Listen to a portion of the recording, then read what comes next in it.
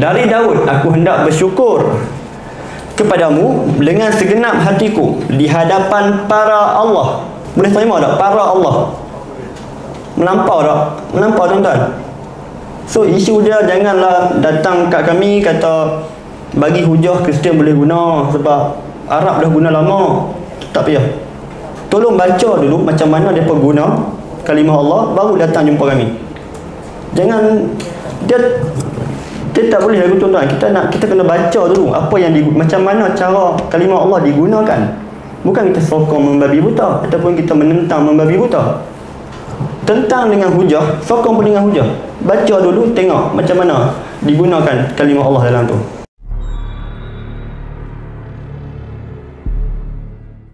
Dokumen Septuagint ni jadi popular lah di kalangan.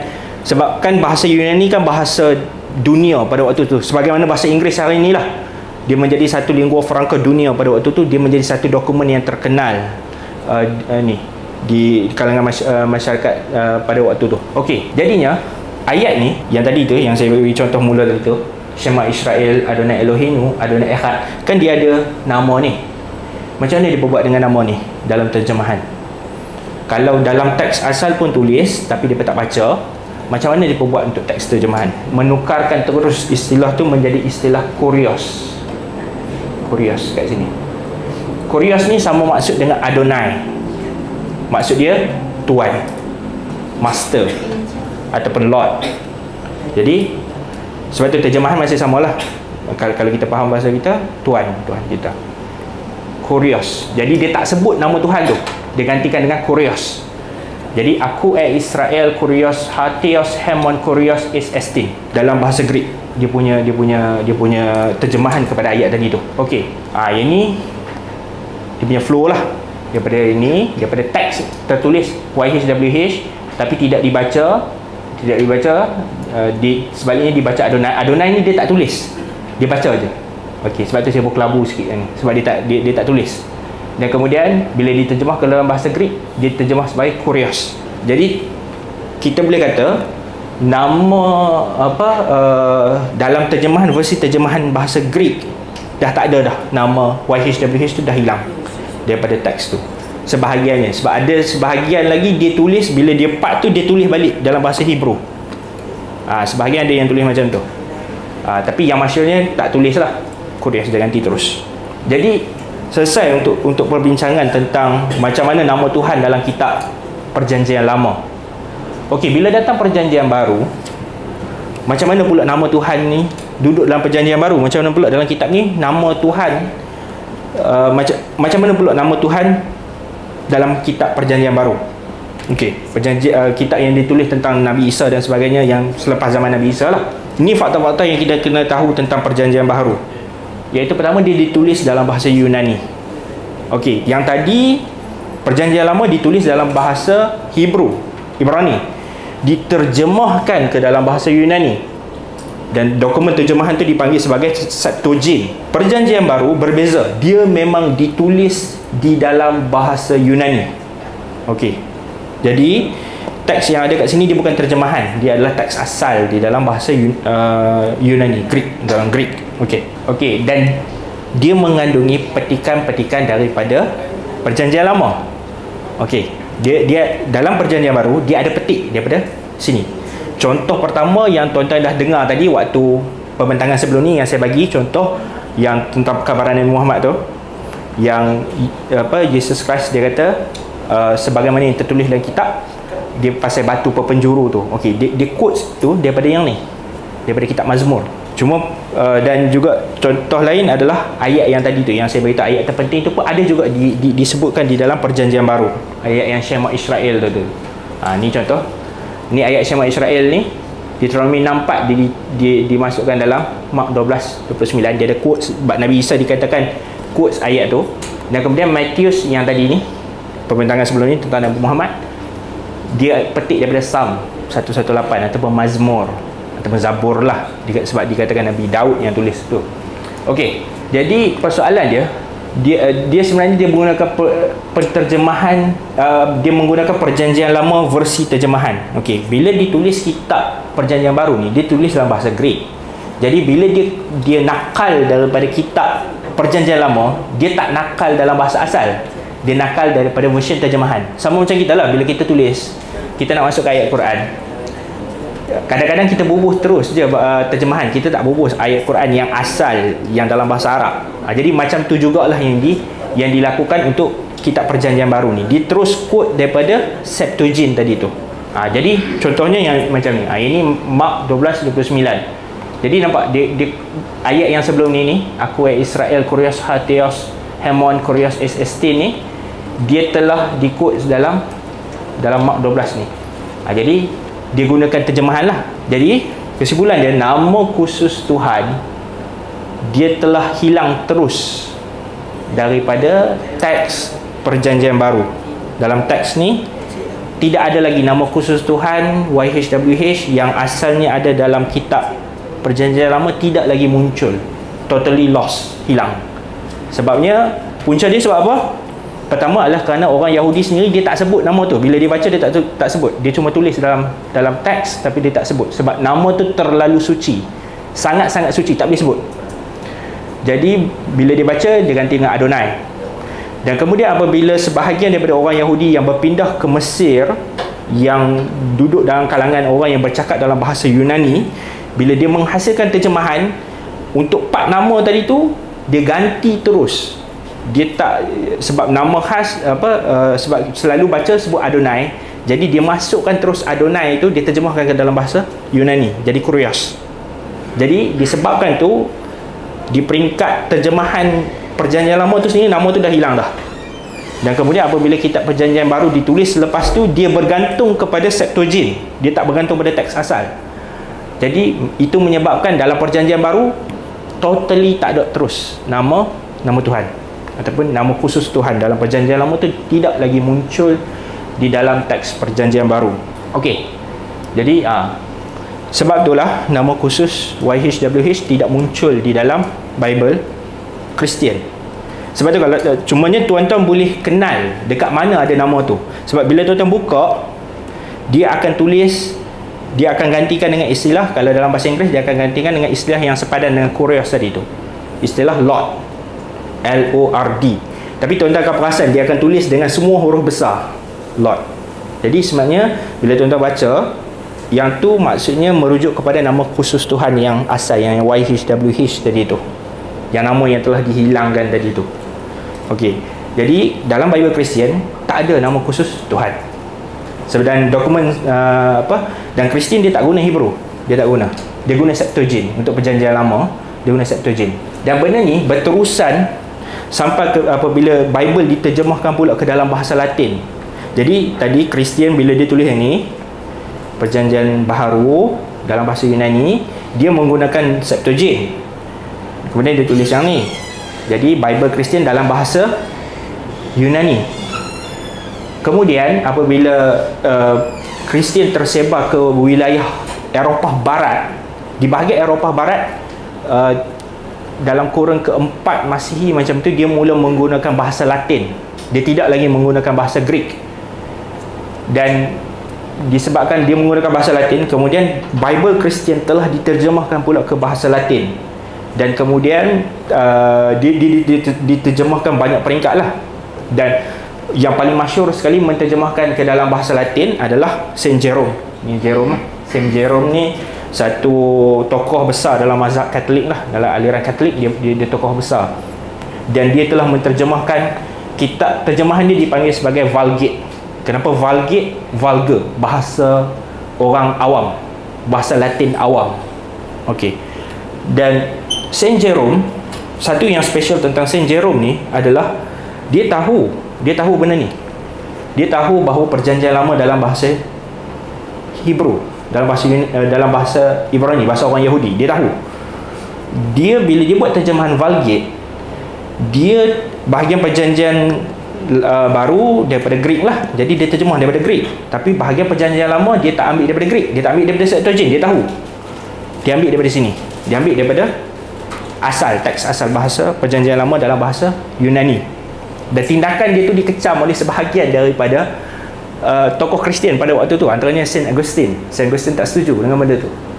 Dan tapi dia buat juga dan bila dia terjemahkan okey ini Deuteronomy 6:4 ni adalah ayat daripada perjanjian lama.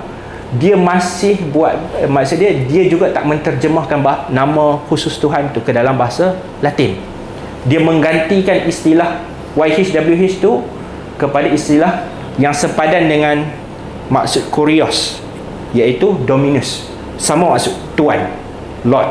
Yang ni yang Saint Jerome buat. Kemudian William Tyndale. William Tyndale ni adalah penterjemah Bible ke dalam bahasa Inggeris yang menterjemahkan daripada dokumen asal.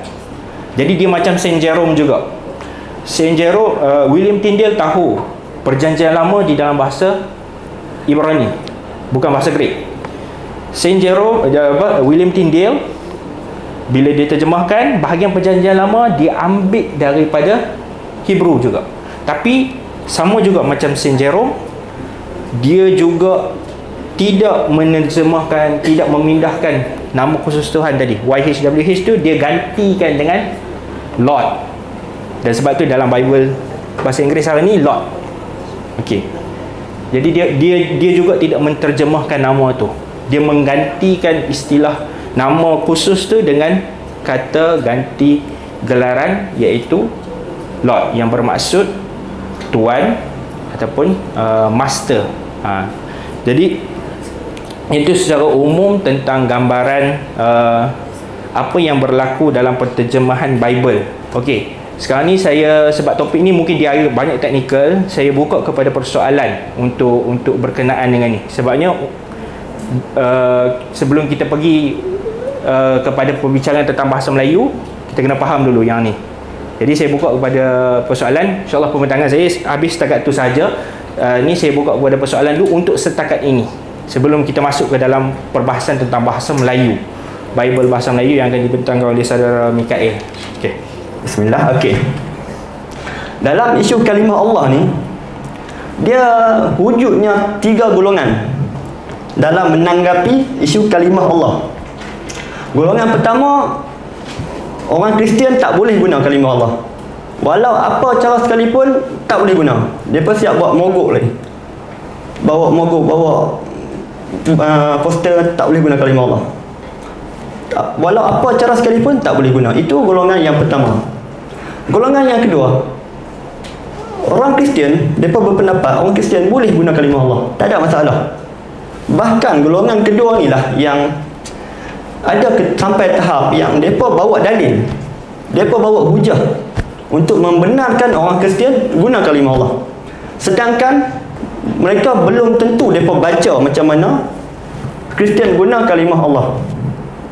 Kalau mereka sokong berdasarkan mereka sudah baca mereka sudah baca okey kita boleh terima. Tapi kita rasa orang yang sokong mungkin boleh jadi dia tak baca belum baca.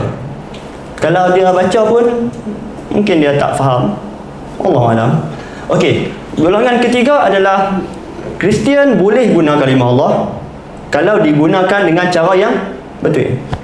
Dan Kristian tak boleh guna kalimah Allah jika disalahgunakan. Ha, jadi kesimpulannya boleh bersyarat. Dan saya secara peribadi dan juga rakan-rakan saya, kami stand kami di Police Center of Wisdom jelas. Boleh guna dengan syarat. Golongan yang ketiga Okey eh? Ha, kami di golongan yang ketiga. Boleh guna bersyarat. So kami bukannya black and white hitam putih boleh tak boleh tak. Sebenarnya ini bukan syarat pun.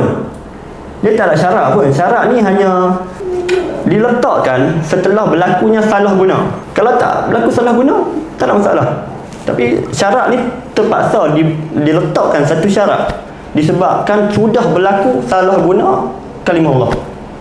So stand kami jelas. Boleh bersyarat Jika digunakan pada tempat yang betul Dengan cara yang betul Secara berdisiplin Berhemah Boleh.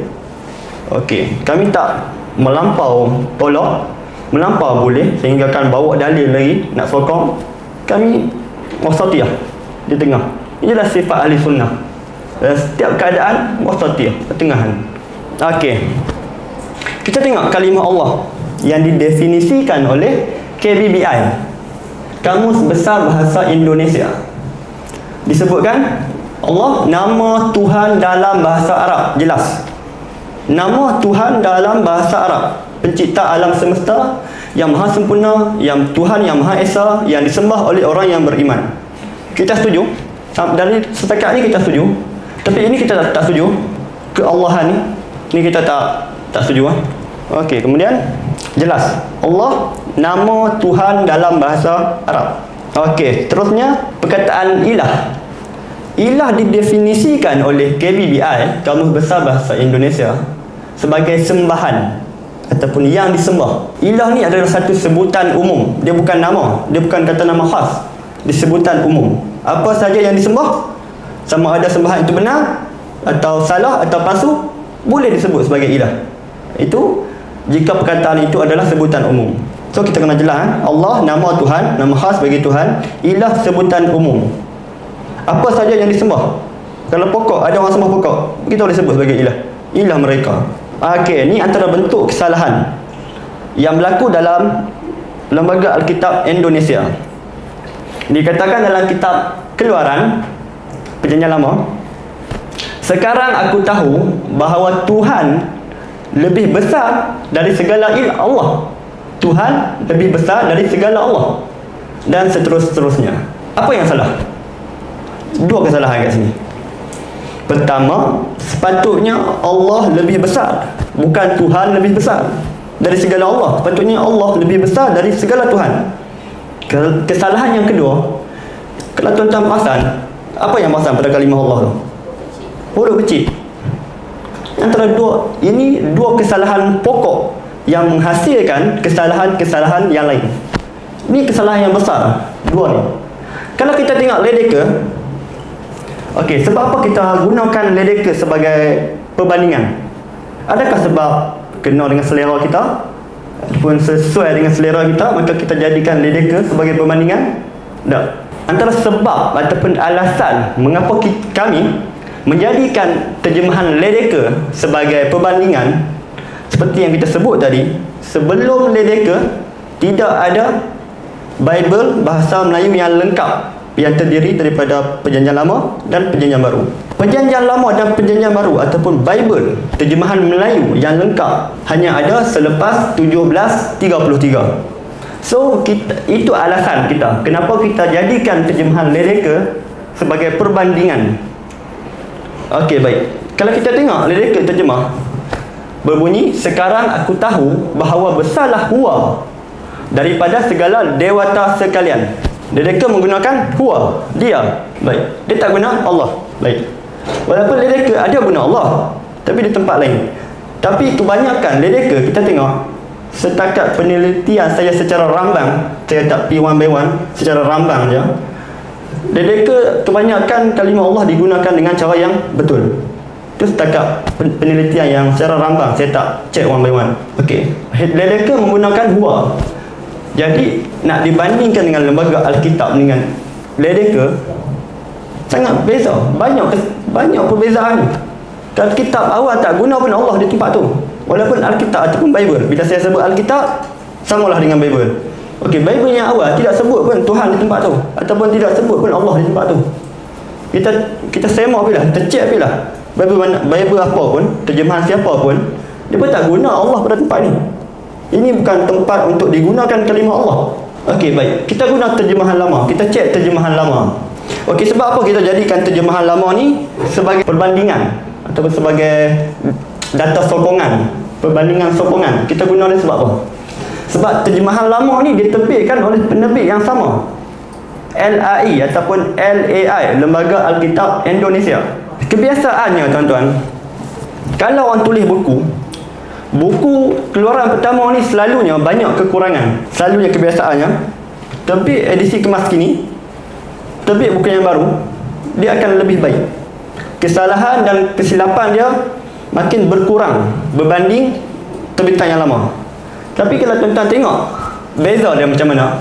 Dalam terjemahan lama terbitan LAI LAI berbunyi sekarang ku ketahui bahawa bersalah Tuhan daripada segala dewata tak. Guna kalimah Allah kat sini.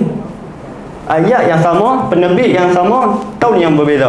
Dia dia bercanggah dengan kebiasaan. Kebiasaannya terjemahan baru ataupun terbitan baru dia akan lebih elok berbanding yang lama. Dalam kes kalimah Allah dalam Bible versi LAI Lembaga Alkitab Indonesia yang lama lebih baik daripada yang baru Okey. Jelas ha? nampak di mana kesalahannya? InsyaAllah Alhamdulillah. Okey. Ha, ini bukti scan daripada kitab Ledecker. Ha, saya, kita dah baca tadi ya. Okey, ini bukti. Kemudian, yang seterusnya, Lembaga Alkitab Indonesia menyebutkan pada kitab Keluaran pasal 20 ayat 3 dikatakan jangan ada padamu Allah lain di hadapanku. Jangan ada padamu Allah lain di hadapanku. Baik. Sama kita buat perbandingan dengan Ledeka. Ledeka kata apa? Jangan ada padamu lain daripada jangan ada padamu ilah lain daripada hadiratku. Ledeka tidak menggunakan Allah pada tempat tu. Baik, sama juga terjemahan lama terbitan yang penerbit yang sama dengan terjemahan baru. Tapi terjemah terjemahan lama menyebutkan jangan ada padamu ilah lain. Dia tak sebut Allah. Nampak? Penerbit yang sama yang lama tak guna Allah Yang baru guna Allah. Ni isu penggunaan atau salah guna? Salah guna. Itu yang saya sudah lama bangkitkan. Dia bukan isu penggunaan kalimah Allah Tapi salah guna. Itu yang kita marah. Itu yang kita tentang Kita tentang. Kita tengok pula ayat seterusnya. Satu Tawarikh pasal 16 ayat 26 Lembaga Alkitab Indonesia menyebutkan sebab segala segala Allah bangsa-bangsa adalah berhala Allah bangsa-bangsa adalah berhala. Boleh terima kan? Ini punca dia bila mereka menjadikan kalimah Allah yang merupakan kata nama bagi bagi diri Tuhan dijadikan sebagai sebutan umum se seperti mana kita sebut ilah. Ilah adalah sebutan umum. Jika kalimah Allah dijadikan uh, sebutan umum juga, dia boleh digunakan kepada apa sahaja yang disembah. Disembah secara benar ataupun secara salah. Baik, kita cek Ledecker. Ledecker tulis kerana sekalian dewata bala-bala itulah berhala juga. Nampak? Ledecker tak guna Allah. Kemudian terjemahan lama. Penerbit yang sama dikatakan kerana dewata segala bangsa itu berhala juga. Sama tak sebutkan kalimah Allah kat sini. Tak ada masalah pun. Apa sebab apa? Ya, keluar yang baru, keluar edisi baru digunakan kalimah Allah di sini. Apa keperluannya? Kita kata boleh apa guna tapi guna dengan cara yang betul. Baik. Ini bukti. Kita boleh reka. Pertanyaan bukti. Kalau nak boleh minta boleh tunjuk. Kemudian Okey. Ini kesalahan yang lebih jelas. Yang sangat jelas. Dikatakan dalam kitab Mazmur. Dari Daud aku hendak bersyukur kepadamu dengan segenap hatiku di hadapan para Allah boleh terima tak? Para Allah. Melampau tak? Melampau tuan-tuan. So isu dia janganlah datang kat kami kata bagi hujah Kristian boleh guna sebab Arab dah guna lama. Tak payah. Tolong baca dulu macam mana dia guna kalimah Allah baru datang jumpa kami. Jangan dia dia tak boleh lagu tuan-tuan. Kita nak kita kena baca dulu apa yang di, macam mana cara kalimah Allah digunakan. Bukan kita sokong membabi buta Ataupun kita menentang membabi buta Tentang dengan hujah Sokong pun dengan hujah Baca dulu tengok macam mana Digunakan kalimah Allah dalam tu Baik Kita tengok leleka Dikatakan Mazmur Daud Aku akan puji engkau dengan segenap hatiku Di hadapan dewa-dewa Aku akan bermazmur bagimu Ini leleka Kitab yang tertua yang lengkap Ini kitab yang kuno yang lengkap Dia tak sebut Allah Disebut dewa-dewa Okey, penerbit yang sama, terjemahan lama. Berbunyi Mazmur Daud bahawa aku hendak memuji akan dikau dengan segenap hatiku dan di hadapan segala dewata. Nampak? Penerbit yang sama. Ni yang lama, sana yang baru. Hak lama elok, hak baru hancur. Baik. Terusnya, uh, terjemahan baru Lembaga Alkitab Indonesia menyebutkan pada ayat Daniel pasal 11 ayat 36 Raja itu akan berbuat sekehendak hati Ia akan meninggikan dan membesarkan dirinya terhadap setiap Allah Ini sama saja tuan-tuan Ini antara bentuk kesilapan yang sama Yang diulang-ulang-ulang Sebab apa? Sebab kesalahan pokoknya adalah Menjadikan kalimah Allah sebagai sebutan umum Umum Dan menggunakan huruf kecil untuk ejaan Allah. Ini antara dua kesalahan pokok Yang menghasilkan segala kesalahan-kesalahan yang lain. Kita boleh selesai dua masalah pokok ni insyaAllah. Selamat. Boleh guna? Kalau digunakan pada tempat yang betul. Okey, Ledeka menyebutkan maka raja itu akan berbuat turut barang keredaannya dan ia akan meninggikan dan membesarkan dirinya ke atas sekalian ilah. Ledeka macam biasa sebut ilah. Digunakan dengan cara yang betul memang sepatutnya ilah ataupun Tuhan. Bukan setiap Allah seperti mana terjemahan baru. Kita tengok terjemahan lama dikatakan demikianlah raja itu akan berbuat barang kehendaknya dan mengatas-ataskan dirinya membesarkan dirinya atas segala ilah Okey, tak ada masalah penerbit yang sama tak ada isu Okey, dia kita nak saya nak terang bila kita tak bagi Kristian gunakan kalimah Allah salah guna kan guna salah salah guna kita tak bagi bukan disebabkan Allah adalah perkataan bahasa Arab. Nabi kita orang Arab bercakap dalam bahasa Arab. Al-Quran kita bahasa Arab. Jadi perkataan Allah daripada bahasa Arab, maka orang Kristian tak boleh guna. Bukan sebab tu tuan-tuan. Buktinya perkataan ilah dari bahasa apa? Dari bahasa Arab. Bukan isunya kita tak bagi disebabkan Allah tu bahasa Arab. Ada lagi perkataan lain yang kita bagi. Contohnya ilah. Arab juga. Jelas ha? Okey. Kemudian seterusnya. Ini bukti. Okey, seterusnya. Pada kisah para rasul pasal 7 ayat 40 dikatakan dalam terjemahan baru Lembaga Alkitab Indonesia kepada Harun mereka berkata buatlah untuk kami beberapa Allah dan seterus-seterusnya kita tengok versi Melayu Baba. Okey, baik. Sebab apa kali ini kita gunakan versi Melayu Baba sebagai perbandingan sedangkan sebelumnya kita guna Lereka. Bukan kita cherry picking atau disebabkan kena dengan selera kita maka kita guna ada. Pertama disebabkan kitab ni hanya perjanjian baru. Maka ayat yang kita, yang kita sebut sebelum ini dalam perjanjian lama. Jadi macam mana kita nak buat semakan berdasarkan ni? So, ada sebab mengapa kami gunakan ini. Kedua, disebabkan kami ada bukti. Bukti di tangan kami. Bila ada orang yang tak perhati, kami boleh tunjuk. So, kami jadikan ini sebagai bukti. Kalaulah kami ada manuskrip Ledeka, maka kami akan guna terjemahan Ledeka sebagai perbandingan. So, kami akan guna apa yang kami boleh bertanggungjawabkan. So, diterbitkan oleh orang Kristian, bukan orang Melayu. Baik, dikatakan dalam versi uh, Melayu Baba 1913 serta kata sama Harun bikinlah kita datuk-datuk yang boleh pergi depan kita kalau tuan-tuan perasan dia gunakan datuk-datuk bahasa Melayu Baba ni adalah bahasa yang dipertuturkan oleh keturunan Cina. So kalau tuan-tuan perasan dia seolah-olah adanya pengaruh kepercayaan luar kepercayaan Cina. Dalam Cina daripada daripada sembahan Datuk Gong. Datuk-datuk ini bahasa Melayu bawah ni adalah bahasa yang digunakan oleh keturunan Cina. Cina peranakan. So, dia masuklah pengaruh tu, datuk-datuk. Okey, tak ada masalah. Mereka nak guna apa, datukkan nenek ke, ikut sekali lepas, tak ada masalah. Tapi, tempat ni tak boleh guna Allah. Itu mutamat. Tak boleh guna Allah tempat ni. Seterusnya, kitab suci Injil, kita buat lagi. Sebagai kita bandingkan pula dengan ini. Ini pun terbitan LAI, Lembaga Alkitab Indonesia. Penerbit yang sama macam mana yang penerbit yang terbitkan kitab ini adalah penerbit yang terbitkan kitab ini. Terbitan tahun 2000. Kita tengok apa yang ditulis. Mereka berkata kepada Nabi Harun, "Buatlah bagi kami beberapa ilah." Beberapa ilah, bukan beberapa Allah. Tuan nampak tak? Penerbit yang sama, bukan penerbit lain. Ini bukannya penerbit Dewan Bahasa dan Pustaka ke tak? LAI, Lembaga Alkitab Indonesia. Yang sana pun Lembaga Alkitab Indonesia. Tahun yang berbeza, sana guna Allah, sini guna ilah. Tuan nampak? Berdasarkan ini semua berpunca daripada dua kesalahan pokok yang saya sebut sebelum ni. Jadikan kalimah Allah sebagai sebutan umum, eja dengan huruf kecil.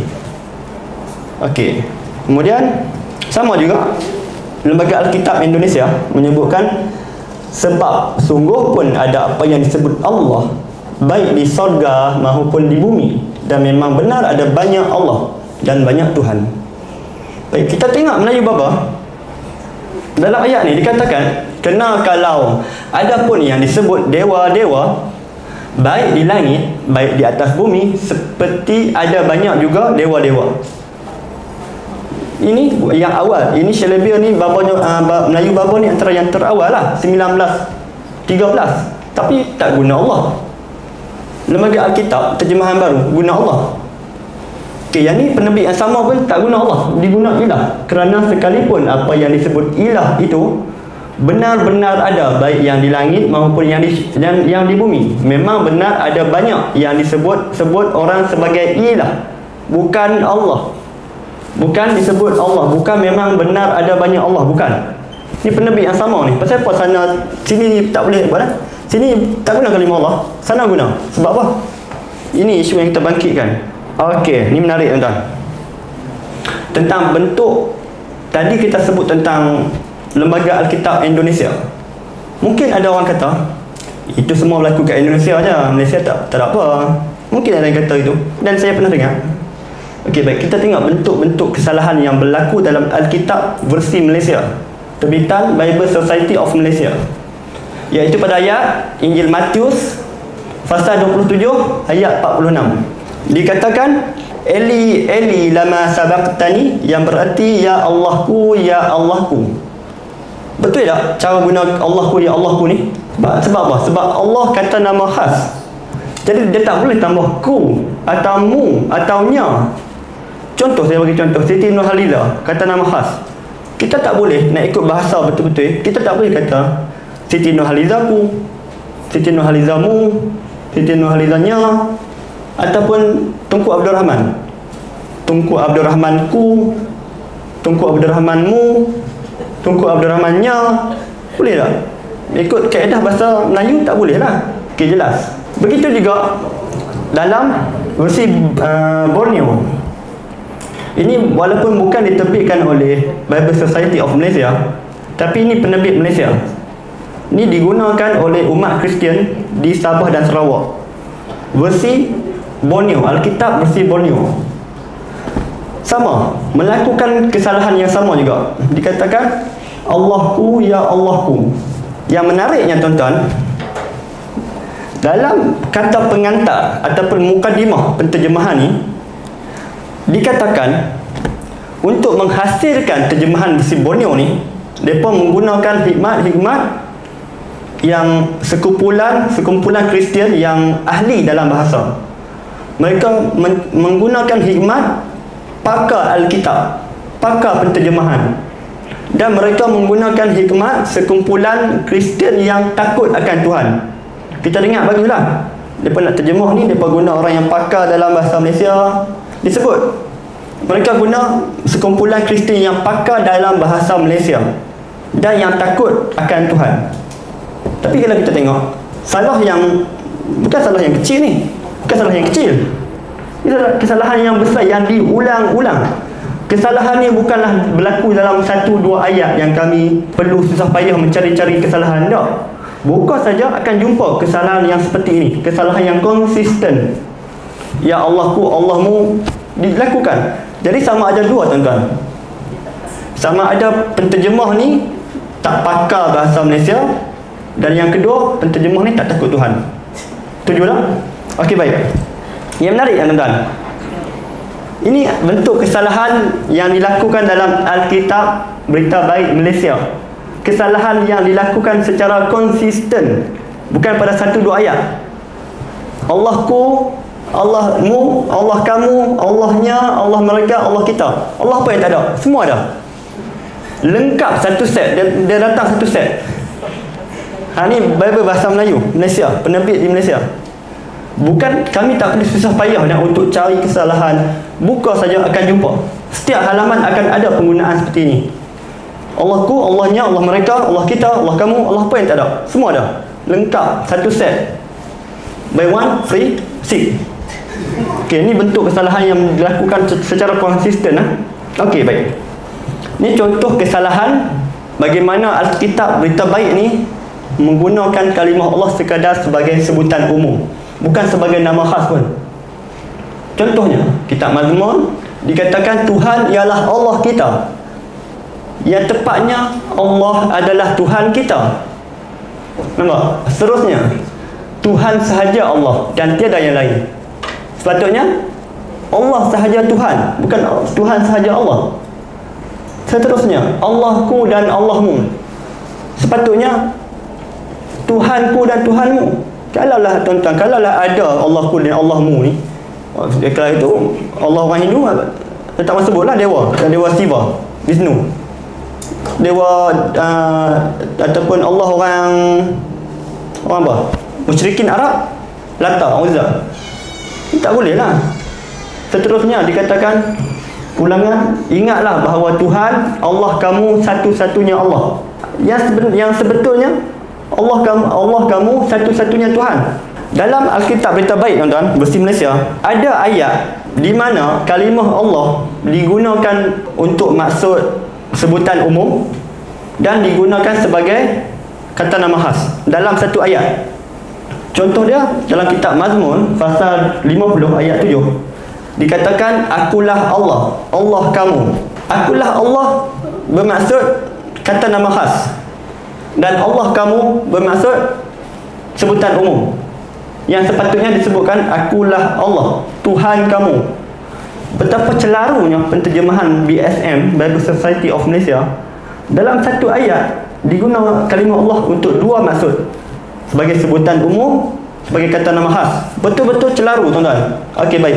Antara bukti menunjukkan Alkitab Berita Baik Malaysia ni tidak menjadikan kalimah Allah sebagai nama Tuhan ialah pada ayat Yesaya.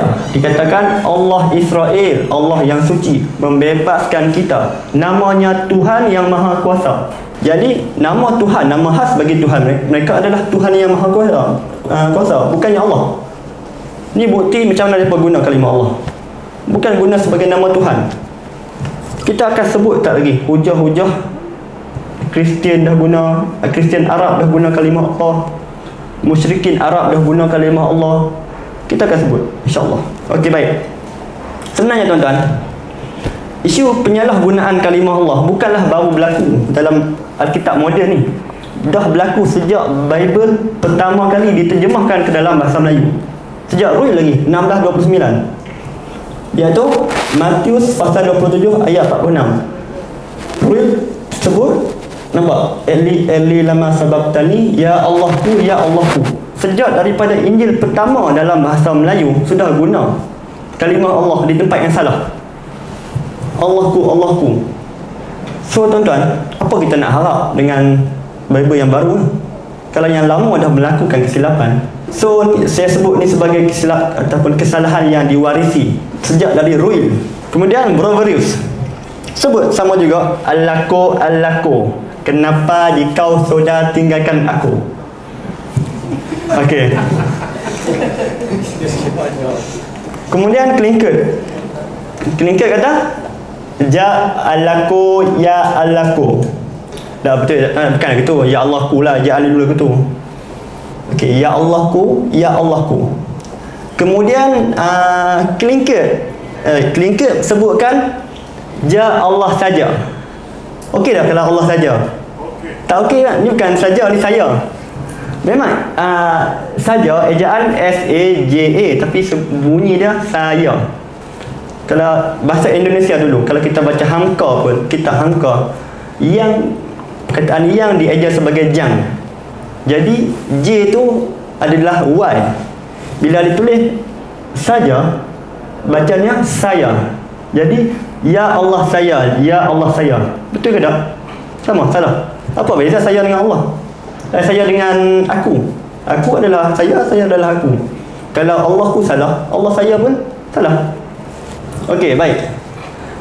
Kemudian Ledeke Ledeke kita patut puji. Dalam ayat ni okey. Ledeke kata uh, ilah ya ilahku ya ilahku wahai sembahanku wahai sembahanku. Okey tak ada masalah. Kemudian Casberry sama melakukan kesilapan dikatakan Allahku Allahku. Terusnya Syilabir Syilabir betul? Syilabir tulis artinya Tuhanku Tuhanku. Betul tak ada masalah. Jadi bukan semua salah dan bukan semua betul. Ada versi yang betul ada versi yang salah. Melayu baba. Sama sebut Tuhanku Tuhanku. Bukan Allahku Allahku. Atau Allah saya Allah saya. Baik. Kemudian adakah ledeka selalunya betul ataupun Melayu baba ni selalunya betul? Tak ada salah. Tak juga tuan-tuan. Ada juga tempat-tempat yang ledeka pun buat salah yang selebia baba Melayu pun buat salah. Jadi bukan semua betul. Tak ada tak ada Bible yang sempurna kan ok contohnya ni. Dikatakan apa tuan-tuan? Kaabah Kaabah ni khas kiblat umat Islam yang ada di Arab Saudi. Ni khusus. Tiba-tiba digunakan Kaabah bukan untuk merujuk kepada Kaabah yang berada di Arab Saudi. Dia dikatakan habis itu Iblis bawa dia pergi negeri suci dan kasih dia berdiri di atas Kaabah punya kemuncak. Ni ada perkataan Kaabah dalam jadi Shalebi pun bukan, bukan semuanya betul. Begitu juga Ledeka. Ledeka pun tulis di ringkit Kaabah jadi Ledeka pun di tempat lain. Walaupun Ledeka kebanyakan ayat yang menggunakan kalimah Allah kebanyakan Ledeka ni okey. Kalau kita, saya buat penelitian secara rambang kebanyakan penggunaan Allah oleh Ledeka lebih baik dan juga penggunaan kata Allah oleh Shelebia Melayu Baba agak baik. Ini saya tak cek satu persatu. Jadi secara rambangnya okey lah digunakan Allah dengan cara yang betul. Jadi untuk pengetahuan tuan-tuan ni dikatakan habis itu Iblis bawa dia pergi cuti ni tiga abah ni menunjukkan Nabi menunjuk kepada Nabi Isa Okay. Jesus, menunjuk kepada Jesus dia ni, Iblis bawa Jesus. Kesimpulan dia, Jesus pernah pergi haji. Dia pernah pergi haji, dia pernah pergi Kaabah. Jadi kita boleh sebut haji Jesus. Ha, dah ada Kaabah. Betul ke Kaabah tak? Jadi, banyaklah kesalahan kalau kita nak cek disalah guna ni banyaklah. Bukan istilah islami, bukan hanya Allah yang disalah guna. Kaabah pun disalah guna. Kaabah bukan ada dua. Okay, mungkin dia pernah gunakan secara secara panggil sebutan umum. Kaabah tu merujuk kepada rumah masjid yang petak. Tapi sudah sedia maklum. Sebut Kaabah dia akan merujuk kepada kiblat umat Islam. Walaupun boleh ditafsirkan sebagai bangunan yang petak. Tapi tak ni dah maklum lah ma'ruf sebagai kiblatnya umat Islam tak boleh ditakwil-takwil lagi. Seterusnya ini sebagai kesimpul, uh, kesimpulan berdasarkan apa yang kita bincang sebelum-sebelum. Ni Okey, apa implikasi bila kita menggunakan kalimah Allah hanya sebagai sebutan umum? Bukan sebagai kata nama. Baik. Jika kalimah Allah digunakan sebagai sebutan umum dia akan membawa implikasi ataupun kesan dia apa sahaja yang apa sahaja yang disembah oleh manusia boleh dipanggil sebagai Allah. Apa saja. Sama ada Siwa, Wisnu yang disembah oleh umat Hindu boleh disebut sebagai Allah. Brahma boleh disebut sebagai Allah. Ataupun Lata Manat Uzza yang menjadi sembahan musyrikin Arab boleh disebut sebagai Allah. Sekiranya perkataan Allah dijadikan sebagai sebutan umum itu kesannya so kesannya bukan kecil besar. Sebagaimana kita boleh kata Siva, Vishnu, Brahma adalah sembahan Hindu ataupun Tuhan Hindu maka kita bolehlah kata Siva, Vishnu, Brahma adalah Allah Hindu. Sekiranya Allah hanyalah sebutan umum itu implikasi dia kesan dia ok implikasi menggunakan huruf kecil. Eh, saya bagi contoh black. Sekiranya ada orang yang bernama black diajar dengan B yang huruf besar. Sekiranya B diubah huruf kecil dia boleh digun dia akan menjadi hitam. Nama untuk nama khas bagi orang gelaran dia gelaran dia black. B huruf besar. Bila kita ubah B huruf kecil dia akan membawa maksud hitam. Maka apa sahaja warna hitam yang ada sifat kehitaman macam saya ni boleh disebut sebagai black. Contoh buku ini pun hitam. Kita boleh sebut sebagai black sekiranya black hanyalah sebutan umum ataupun digunakan huruf kecil. Bila digunakan huruf besar dia merujuk pada kata nama khas. Tak boleh suka-suka digunakan tem- di tempat lain. Jadi isu huruf kecil huruf besar pun bukannya isu yang remeh-temeh. Kalau dia guna dalam bahasa Arab okey. Arab tak ada huruf kecil huruf besar. Tapi kalau diguna dalam masalah tulisan Romi masalah. Gunakan huruf besar masuk yang lain. Gunakan huruf kecil masuk yang lain. Itu antara kesannya panggil apa saja yang disembah sebagai Allah. Tak ada masalah. Itu sekiranya sebutan Allah adalah kalimah Allah adalah sebutan umum dan sekiranya Allah diejar dengan huruf kecil. Hal ini pun saya nak jelaskan. Dikatakan uh, antara hujah lah antara hujah penyokong. Penyokong yang membenarkan Kristian mengguna kalimah Allah sesuka hati. Mereka akan kata Kristian di Arab Yahudi di Arab sudah lama menggunakan kalimah Allah dalam kitab mereka. Jadi apa salahnya untuk orang Kristian guna juga kalimah Allah? Itu antara hujah mereka. Baik. Kita jawab benar betul. Kristian Arab Yahudi Arab sudah menggunakan kalimah Allah. Betul. Satu dakwaan yang betul. Cumanya yang membezakannya adalah Kristian Arab Yahudi Arab menggunakan kalimah Allah sebagai kata nama khas sebagai nama Tuhan bukan sebagai sebutan umum. So jangan gunakan hujah Arab Kristian dah guna Arab Yahudi dah guna. Tak boleh tak sama tuan-tuan. Beza. Mereka guna sebagai nama nama Tuhan. Mereka tak guna sesuka hati. Walaupun mereka ada Trinity tapi mereka tak guna sesuka hati kalimah Allah Kristian mereka mereka orang Arab mereka faham. Mana tempat yang patut guna kalimah Allah mana tempat yang tidak patut menggunakan kalimah Allah. Apa contoh bahawa Kristian Arab ni guna kalimah Allah dengan cara yang betul? Contohnya kalau kita tengok boleh pesan kalau kita tengok dalam Injil Matius pasal 27 ayat 46 dalam Alkitab Kitab Muqaddas terbitan Kristian Kristian Arab pada ayat ini disebutkan ilahi ilahi limadha taraktani Tuhanku, Tuhanku mengapa engkau tinggalkan aku betul tak penggunaan kat sini? betul betul kan? ilahku, ilahku tapi kalau kita tengok yang bahasa bahasa Melayu tadi digunakan Allahku, Allahku sepatutnya ilahku jelas ha? ha. so uh, jangan gunakan hujah Kristian Arab dah guna, Yahudi Arab dah guna. Mereka, mereka gunakan dengan cara yang betul pada tempat yang betul. Mereka tak guna kalimah Allah sembrono. Pasal nak guna, guna.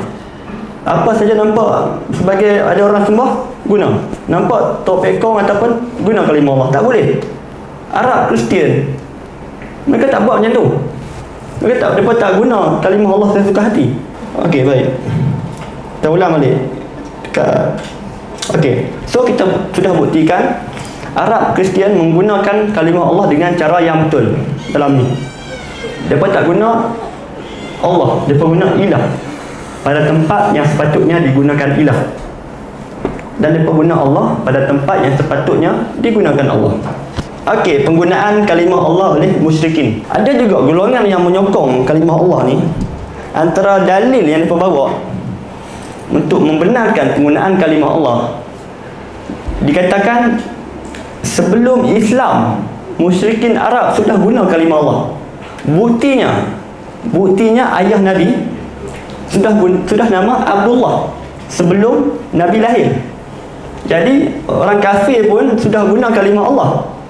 Kenapa kita nak larang orang Kristian guna kalimah Allah selepas selepas Islam lahir? Dia maksud apa ni? Maksudnya Allah tu sudah digunakan sebelum Islam lagi. Allah sudah digunakan oleh orang kafir. Jadi tak salah untuk Kristian gunakan kalimah Allah. Orang Arab Kristian dah kenal Allah sebelum Islam ada lagi. Itu antara hujah. Antara hujah penyokong, para penyokong ni. Okay, kita jawab, Kristian musyrikin Arab mereka gunakan dengan cara yang betul seperti mana Kristian Arab itu bahasa mereka mereka tahu tempat mana nak guna Allah tak ada isu. Dan musyrikin Arab menggunakan kalimah Allah sebagai nama bagi Tuhan. Nama khas bagi diri Tuhan. Mereka tak guna mereka tak mereka mereka mereka tak guna kalimah Allah untuk merujuk kepada Lata Manat Uzza. So musyrikin Arab gunakan kalimah Allah pada tempat yang betul bukan gunakan secara sembrono. Walaupun musyrikin tak beriman tapi Allah digunakan dengan cara yang betul So jangan datang bawa persamaan, bawa perbandingan, bagi hujah, bagi alasan. Musyrikin dah guna kalimah Allah lama sebelum Islam. Jadi Kristian pun nak guna juga. Jangan bawa alasan tu. Tak sama. Baik. Musyrikin Arab menggunakan kalimah Allah dalam percakapan harian sebagai orang Arab. Mereka tak guna dalam kitab suci. Musyrikin Arab dia tak guna dalam kitab suci apa? Seperti mana Kristian. Kristian menggunakan kalimah Allah dalam kitab suci. Yang mana kitab suci diterjemahkan ke dalam pelbagai bahasa dan disebarkan kepada masyarakat. Termasuklah umat Islam. Jadi beza antara penggunaan oleh musyrikin Arab atau Yahudi Arab atau Kristian Arab dengan penggunaan kalimah Allah dalam Bible terjemahan Melayu. Beza. Jangan bawa hujah lain untuk membenarkan perbuatan lain. Okey, baik. Baik. Kemudian mereka tak boleh kata Kristian Arab dah guna, kami pun nak guna juga. Sebab apa? Sebab pada Kristian di Nusantara ni tidak ada pengaruh Arab. Sebab Kristian sampai masuk ke Nusantara melalui penjajah barat. Kalau di Semenanjung Portugis bawa aliran Katolik. Kalau di Belanda, kalau di Indonesia Belanda bawa aliran Protestan. So yang bawa agama Kristian yang mengenalkan agama Kristian kepada umat Melayu, masyarakat Melayu, orang penjajah barat yang mana mereka tak kenal pun kalimah Allah. So tidak ada pengaruh Arab pun pada mereka. Seandainya yang datang membawa Kristian ke alam Melayu adalah Kristian Arab, okey, ada kewajaran. Ada alasan untuk mereka guna kalimah Allah. Disebabkan ada pengaruh. Seperti mana Melayu? Orang Melayu bila yang bawa agama Islam kepada kita adalah orang Arab maka banyaklah pengaruh-pengaruh Arab pada kita. Sebab tu nama sultan-sultan dulu pakai sultan. Sultan Arab. Nama orang dulu Syekh Abdul, Abdul Rahman Abdullah Zahil Malik. Kebanyakan nama-nama Arab digunakan oleh orang Melayu menunjukkan pengaruh Arab pengaruh Arab ada pada Melayu? Sebaliknya Kristian yang bawa Kristian kepada mereka bukanlah Kristian Arab tapi penjajah barat yang tak kenal kalimah Allah. Jadi tidak ada kewajaran pun untuk mereka kata Arab, Kristian Arab dah guna, kami nak guna. Sedangkan bukan Kristian Arab yang bawa Islam pada mereka. So mereka boleh gunakan kalau digunakan dengan cara yang betul. Tapi untuk alasan-alasan seperti ini tidak boleh digunakan saya, saya kita jangan ambil mudah ha? jangan kita pandang enteng.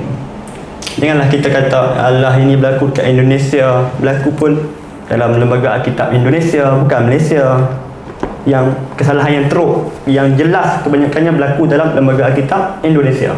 Kita tak boleh ambil enteng ataupun pandang mudah. Kerana apa? kerana yang dilakukan dalam Alkitab Malaysia pun adalah kesalahan yang sama. Kesalahan yang dilakukan dalam lembaga Alkitab Indonesia berlaku juga dalam lembaga Alkitab Malaysia ataupun Bible Society of Malaysia. Kesalahannya sama. Cuma beza dia dalam Alkitab versi Indonesia lembaga Alkitab Indonesia salah salah guna mereka secara langsung. Mereka berani untuk gunakan A berhuruf kecil. Sedangkan Malaysia mereka tak berani.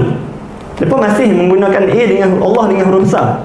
Setakat carian saya secara lambat tak ada lagi lah yang Malaysia guna A dengan huruf kecil. So mereka tak buat kesalahan secara langsung. Kita terpaksa akui secara langsung. Memang tak ada mereka guna A huruf kecil untuk ejaan Allah. Tapi mereka gunakan kalimah Allah yang sepatutnya digunakan sebutan umum. Yang sepatutnya digunakan Tuhan, digunakan Allah. So kesalahan yang berlaku dalam Alkitab Malaysia pun Bible Malaysia pun adalah sama seperti mana yang berlaku dalam Bible Indonesia. Bezanya Indonesia secara langsung mereka berani untuk gunakan A huruf kecil bagi kalimah Allah, Malaysia tak berani. Mereka guna A huruf besar tapi cara penggunaannya sama sebagai sebutan umum bukan sebagai nama khas bagi diri Tuhan. So kita tak boleh pandang enteng. Kemudian, kesalahan ni mungkin telah diikuti beberapa generasi tuan-tuan. Sebab tuan kena ingat Kita sebut tadi Berita baik Bersih Malaysia Hanya lengkap pada tahun 1987 jadi sebelum 1987 orang Melayu Kristian Melayu Kristian di Malaysia guna apa? mereka guna yang lembaga Alkitab Indonesia. Sebelum 1987 sudah berapa berapa orang yang sesat terhadap pemahaman terhadap kalimah Allah ni? Kita tak tahu ramai mana lah kita tak tahu. Banyak mana dah berapa generasi yang sesat terhadap pemahaman kalimah Allah. Sebelum adanya yang bersih Malaysia mereka dah guna lah yang Indonesia punya. Indonesia lebih lama daripada Malaysia. So kita tak boleh lah pandang lebih piah ni Indonesia Malaysia tak ada pun. Kita dah buktikan Alkitab Malaysia pun buat kesalahan yang sama. Cumanya tak secara langsung. Kesalahan sama. Baik. Jadi kita tak boleh pandang enteng ha? Sebelum adanya Alkitab Malaysia sebelum adanya Alkitab Malaysia inilah yang digunakan oleh umat Kristian Melayu di Nusantara. Yang mana kita dah tunjuk salah salah guna yang cukup fatal lah. Baik. Sebenarnya tuan-tuan kita tak boleh kata biarlah nak berlaku nak biarlah nak berlaku di Indonesia kan? Tak penting pun. Tuan-tuan siapa boleh bagi jaminan kat saya bahawa Alkitab Indonesia tidak boleh sampai ke tangan penganut Kristian Melayu di Malaysia siapa boleh bagi jaminan yang kesalahan dan yang ataupun Bible yang bersih lembaga Alkitab Indonesia tak boleh sampai ke tangan umat Kristian di Malaysia. Tak ada siapa boleh jaminan. Kristian di Malaysia pun ada ke- kemungkinan untuk mem- memahami kalimah Allah seperti mana yang dilakukan dalam Alkitab bersih Malaysia. Sedangkan kami kami bukanlah Kristian, kami Islam. Dan kami orang Malaysia. Tapi kami boleh boleh terima, boleh dapat. Kami boleh akses Bible bahasa Indonesia bersih Indonesia apatah lagi orang Kristian Melayu di Malaysia mudah saja untuk dapat dapat Bible bersih Indonesia so janganlah kita pandang enteng kita kata biarlah nak berlaku dalam kitab ataupun Bible Indonesia tak penting pun bukannya berlaku kitab Malaysia Bible Malaysia tapi kita dah buktikan dalam Bible Malaysia pun buat kesalahan yang sama so ok saya rasa Okey. Ini penting. Kita gunakan macam mana nak guna kalimah Allah untuk tujuan dakwah. So setiap masalah ni akan ada hikmah insya-Allah. Mungkin kita tak suka tapi insya-Allah kita kita bolehkan kita boleh jadikan sebagai medium untuk kita berdakwah. Mungkin hikmah untuk kita juga. Untuk kita lebih berinovasi kita gunakan tajuk ni tajuk kalimah Allah ni sebagai orang panggil medium untuk kita berdakwah. Macam mana? Sebenarnya antara hikmah hikmah Kristian menggunakan kalimah Allah isu kalimah Allah ni timbul. Kristian nak guna kalimah Allah. Ada hikmah lain walaupun kita nampak buruk iaitu kita lebih mudah untuk menyampaikan dakwah kepada orang-orang yang sudah kenal Allah. Berbanding kita nak sampaikan dakwah kepada orang tak percaya pun Allah. Tak percaya pun Tuhan. Allah pun tak kenal. Lebih mudah lah untuk kita berdakwah kepada Kristian yang sudah daripada kenal kalimah Allah. Setuju tak? setuju. Tidak kita, kalau kita berdakwah kepada orang etis ke kita nak kita nak buat bagi dia percaya Allah bagi percaya ada Tuhan bagi percaya Tuhan tu nama Allah dia banyak banyak perkara kita kena buat tapi kalau Kristian mereka dah percaya Tuhan mereka dah percaya ada Tuhan nama Allah hanya yang kita boleh buat hanya kita perlu buat perbetulkan pemahaman mereka terhadap kalimah Allah. Kita tak perlu nak perkenalkan Allah pada mereka. Mereka nak sebut Allah tu macam mana. Bukannya tak perlu, tak perlu. Sebut, kita buat perbandingan. Mereka sudah terima Allah. Sejak dari kecil, mereka, mereka sudah kenal kalimah Allah. Mudah tak usaha dakwah kita. Hanya kita, kita contohnya antara cara untuk kita berdakwah. Kita bandingkan macam mana kalimah Allah digunakan dalam Alkitab ataupun Bible. Contohnya digunakan Allah bangsa-bangsa adalah berhala. So Allah dalam Bible begitu hina. Begitu rendahnya Allah dalam Bible. Disamakan dengan berhala Tuhan lebih besar dari segala Allah Allah bangsa lain adalah berhala lemah Allah dalam Bible menurut sudut pandang Bible kita tunjuk Allah macam mana Allah dalam sudut pandang Islam Allah dalam Quran macam mana? Nak pilih apa? Sebab itulah Ahmad Didat rahimahullah. Dia buat tajuk. Jadikan tajuk buku dia ada choice, pilihan. Yang kita dah terangkan nak terima atau tak mau terima pilihan kita dah sampaikan macam mana Allah dalam Islam begitu tinggi begitu diagungkan Allahu Akbar. Allah tinggi besar. Tapi dalam Bible Allah kecil saja. Rendah saja pangkatnya so nak terima siapa? So isu kalimah Allah ni insyaAllah tuan-tuan ada hikmah. Kita tak nampak.